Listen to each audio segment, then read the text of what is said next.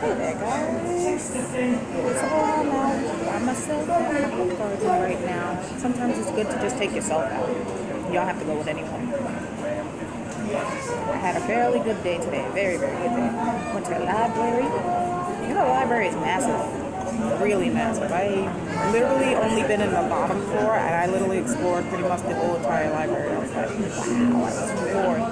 I'm definitely going back. I got some writing done, so that's good. And now I'm having dinner. See, spaghetti with sauteed shrimp and breadstick. Can't go wrong. Mm. My favorite. But people always want to make a big deal about, oh, if you go out to a restaurant or movies or by yourself, you're like, oh, you're such a loser. But please, I'd rather be myself, to be honest. Way better. I'm having a fantastic time out by myself. You Should do that more often. Because it was a pretty stressful weekend, so I just said, hey, you know what? Today's gonna be about me. Nobody else, me.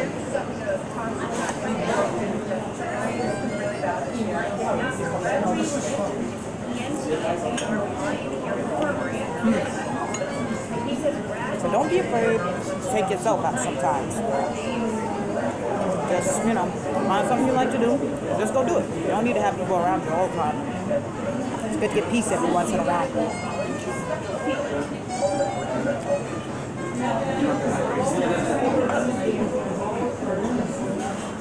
Being said, I'm gonna go back to my dinner.